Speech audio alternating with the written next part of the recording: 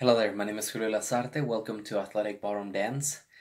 Today we're going to be talking about effort, and this is not the LMA kind of effort. You can take it that way, but we're going to be talking about effort in the gym, effort in the studio, effort in your life. What I mean by that is how much effort are you putting into all of that?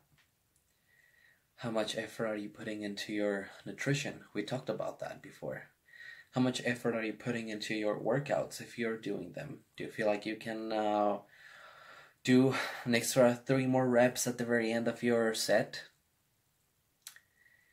See what I'm getting there? So you should be able to push through that, push through that failure and push through the those numbers that you have in your head, right? So, yeah, I want to get 10, 12, 15 reps but if you can do more than that, then just do it achieve that failure, especially when it comes down to um, working out.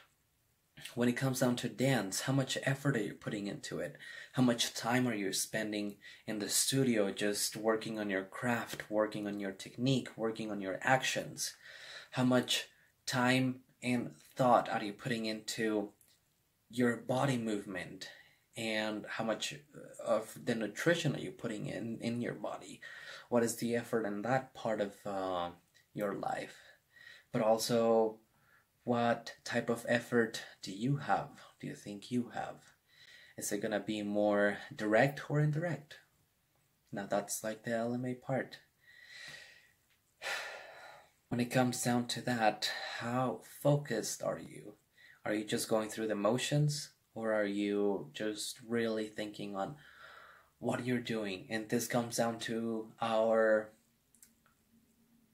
philosophy i would say where you have to think that your body and your mind are one right? They're yeah you can argue they're two separate things but they're one. Same with our whole body. Our whole body is just one huge chain that's why if your knee hurts, you're gonna have like hip problems, you're gonna have back problems, or even like if your foot hurts, right? So all of that is just gonna affect different parts of your body because all of it is just connected. And same with your body and your mind.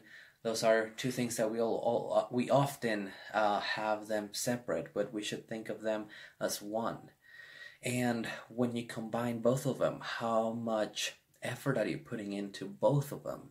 Are you only focusing on your body and you're not, thinking about what you can do for your mind and your spirit, if you if you would like to call it? These are two things that I have been uh, trying to incorporate more into my life. And uh, I'm not saying that you should. It's like, yeah, go all out. Go read books while you are working out. While that is uh, something that a lot of people do and tend to say like yeah like it really works for me. I feel like you need to come down to uh, what you feel is best right?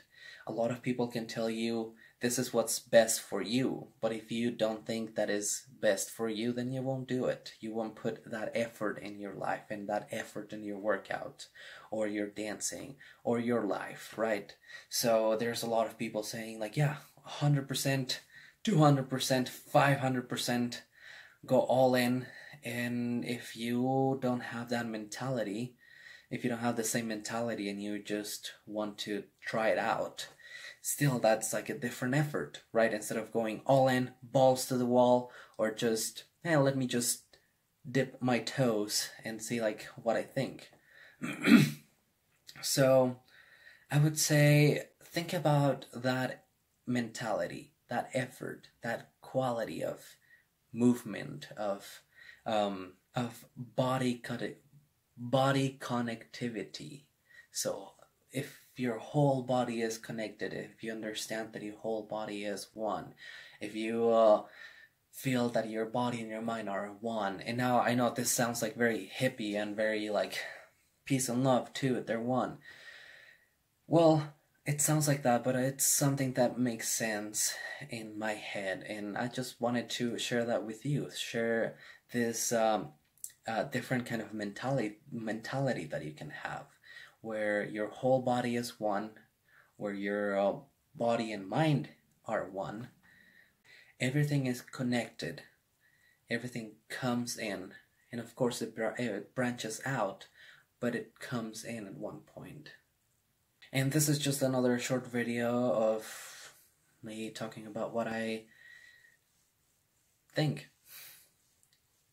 Of course, I'm not a philosopher, I'm not a professional yet, but these are some of, some of the things that I feel like are helping me uh, becoming a better self, have a better attitude towards things, and towards reaching those goals, right? So everybody has different goals, and the way how you approach them, I think that is what uh, that is why effort comes into place.